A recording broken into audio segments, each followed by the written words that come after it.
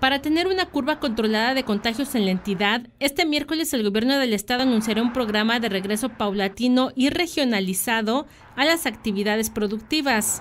También se presentará el semáforo COVID.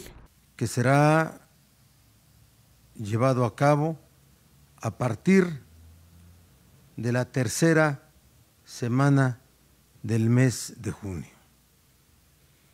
Y con eso habremos de creado condiciones de control, de control, por tres semanas.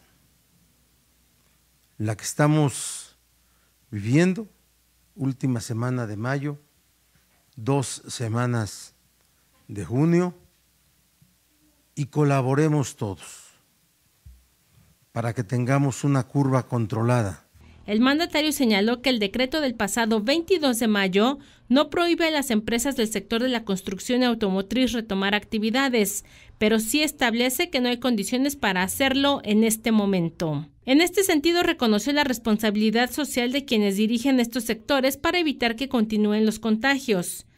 Y yo lo que emití en un decreto es donde solo establecí que no hay condiciones en Puebla para el regreso de la industria automotriz y de la industria de la construcción. Eso es lo que dije. ¿eh? Si lo leyeron o no lo leyeron. ¿Sí? Eso es lo que dije. No establecí sanciones, ni prohibí, pero yo reconozco en la Volkswagen, en la Audi, una enorme responsabilidad social en su comportamiento. Ante las intenciones de algunos empresarios para regresar a las actividades el próximo lunes, el gobernador dijo que es momento de ver qué papel está jugando cada uno de los actores sociales en Puebla en el marco de esta pandemia.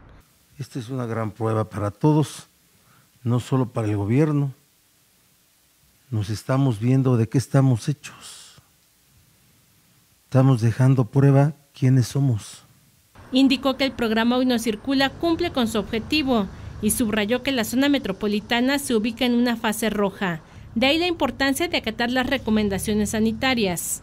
En las imágenes, Osvaldo Aguilar para SED Puebla Noticias, Miriam Espinosa.